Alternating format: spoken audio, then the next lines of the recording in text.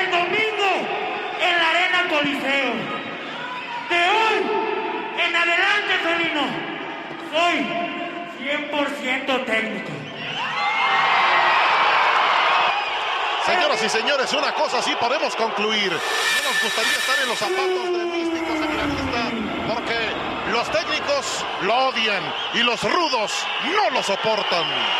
Haya forma como la que están terminando ahora las cosas en esta confrontación, en este que ha sido el turno superestelar, en este escenario, la Monumental Arena México. Divorcio definitivo ya entre Místico y los hermanos Casa Leonardo. Yo también me quedo con que Volador le dijo naco a Místico. Vámonos a ver qué vamos a tener la próxima semana.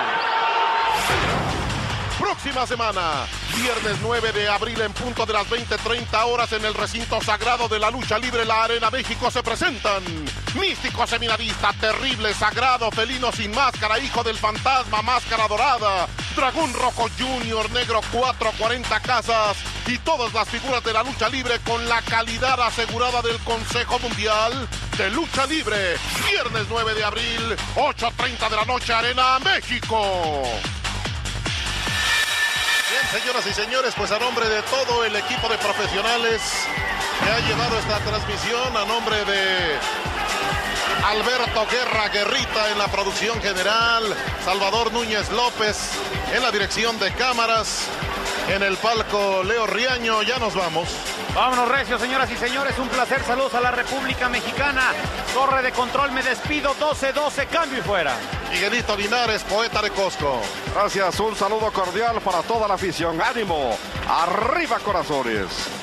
Señoras y señores, por esta repetición y a nombre del doctor Alfonso Morales, su servidor Leobardo Magarán, rudísimo de cinco estrellas, se despide. Nos vemos la próxima, mismo canal, mismo horario. ¡Arriba los rudos! 1810, un grito de libertad.